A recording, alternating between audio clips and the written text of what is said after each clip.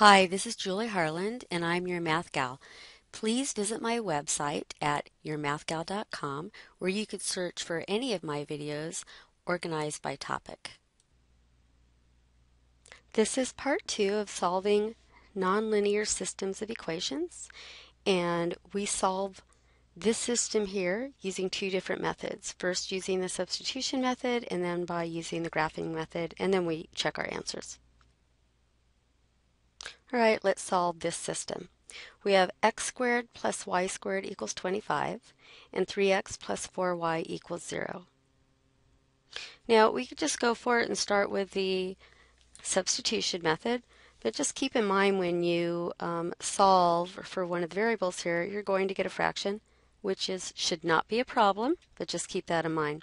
Another thing you might notice here is that I have a circle and a line.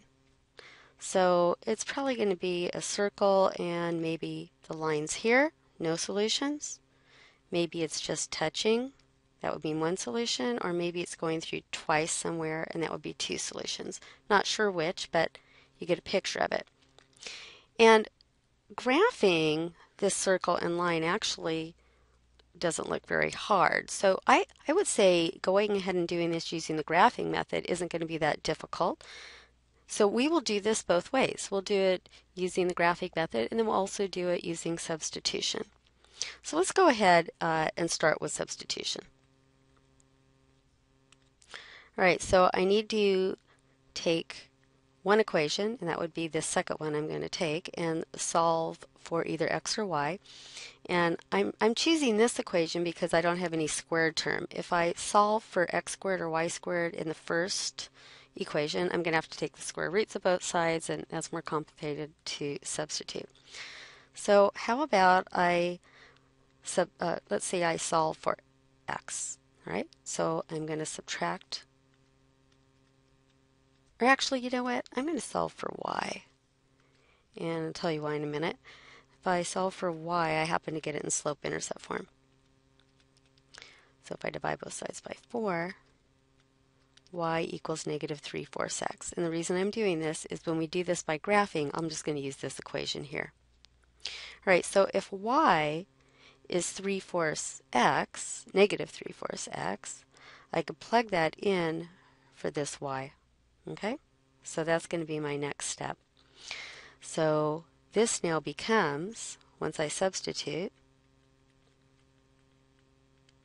I'm going to have to plug in negative 3 fourths x for y, and I'm going to have to square it. Don't forget to square both sides. So this gives me x squared, right? Be careful here. All right, so the numerator, we're going to have a 3, you're, you're squaring a negative, so it's going to be positive, and then 3 squared is 9, and then also I have x squared, right? And in the denominator, I have 16, which is 25.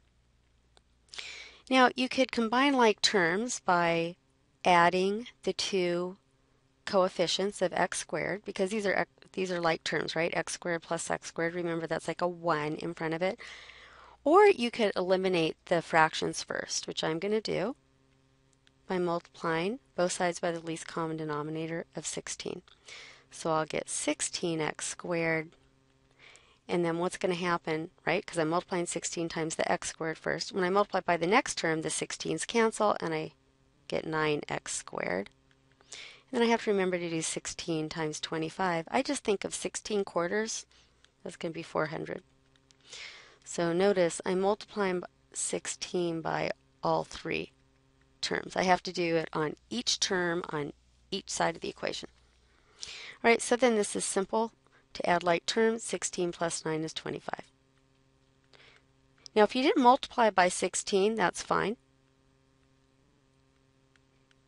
You would get 1 and 9 sixteenths, which if you simplify that, you would get 25 sixteenths. So that works as well.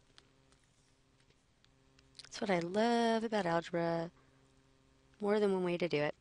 So what we get here is when we divide by the 25 is that x squared is 16. And when I solve that, taking square roots of both sides, I get plus or minus 4. So I actually get two solutions for x. One is 4. The other solution is negative 4. So now I'm going to go back and back substitute into this y equals negative 3 fourths x to figure out what y equals. So y equals negative 3 fourths times 4 so I'm going to get the y, well, the 4's cancel, is negative 3. So this gives me a solution of what? Which order pair is this? The x is 4, the y is negative 3. That gives me 4, negative 3. That should be one solution. We haven't checked it yet, but we will definitely check it. All right, now we're going to plug in negative 4 into this equation, y equals negative 3 fourths x. So I'm plugging in negative 4. So the 4's cancel, and I have a negative times a negative, right, which is positive, so I'm just going to get positive 3. So when x is negative 4, y is positive 3. So it looks like I have two solutions for this system.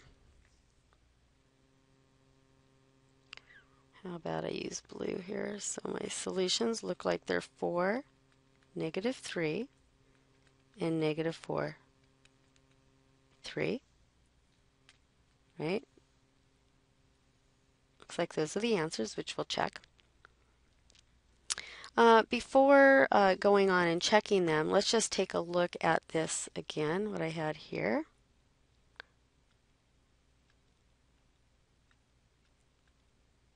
Oops, that was a 25, right?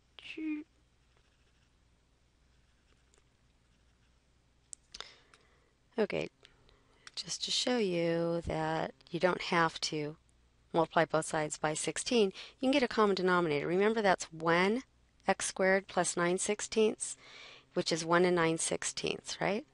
And 1 and 9 sixteenths, if I want to write it like that, 1 and 9 sixteenths, I'm sorry, 1 and 9 sixteenths would be 16 times 1 plus 9 would be 25 sixteenths. So when you add like terms, you get 25 sixteenths. x squared equals 25. And so you could have gotten the answer leaving the fraction in there. And let's see. I want to multiply by 16 25ths. So I can cancel both the 25 and the 16. So you're multiplying by the reciprocal. Notice you would still get x squared equals 16, x equals plus or minus 4. So just want to let you know there's you know more than one way that people solve equations that have fractions.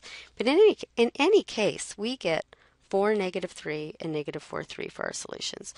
So before checking Let's see what happens if we happen to graph these two equations on the same set of axes. See if it looks like that really does go through those two ordered pairs. All right, so here's our original system, and we're going to do it by graphing this time. So the first one's easy. It's a circle with center 0, 0, and, right, so this one is a circle, circle, center 0, 0, and a radius of 5, right? So let's see. We can put these ordered pairs here, and then we'll graph a circle. Okay, so here's my sketch of the circle. And let's see, then we have a line, right? This one's a line. So remember we solve for y.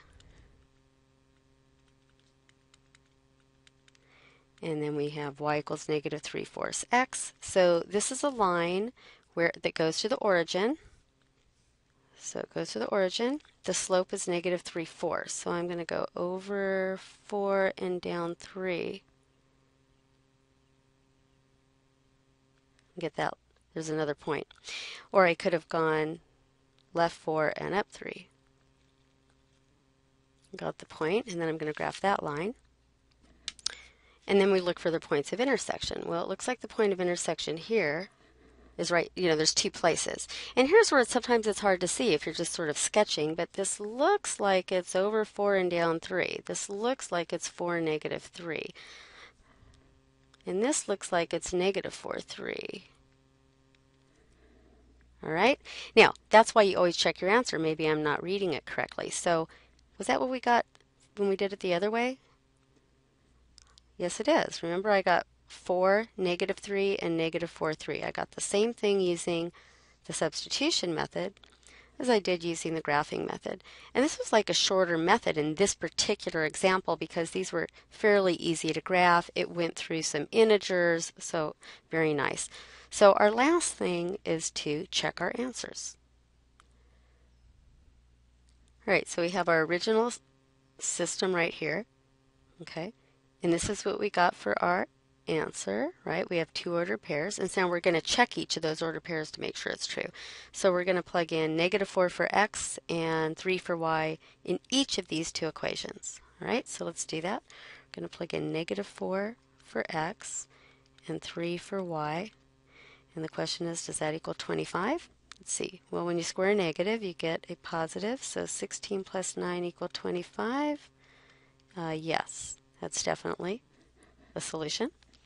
Then we're going to plug in negative 4 for x and 3 for y and make sure this is true. So negative 12 plus 12 equals 0. Negative 12 and 12 does equal 0, so yes. All right, so negative 4, 3 is definitely a solution. That checks. And then we're going to do the same thing over here for 4, negative 3. So we're going to put in 4 for x negative 3 for y. See if that's the same. 16 plus 9 is 25, so hopefully you can see that's true. Then plug in 4 for x and negative 3 for y. See, that's true. I could have gone one more step here if you want to show it. And you know, people do show their checks slightly differently. I, I often do it using um, something like this. Instead of writing the equal sign, you're, you're probably seeing that, and you just sort of simplify both sides. So either way is fine. But make sure you do check each solution in both equations. All right, and if there's only one solution, you're going to check that one solution in both equations, right?